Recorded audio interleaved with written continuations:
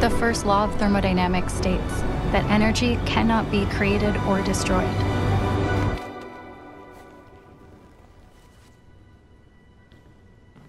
But it can be passed on to the next generation.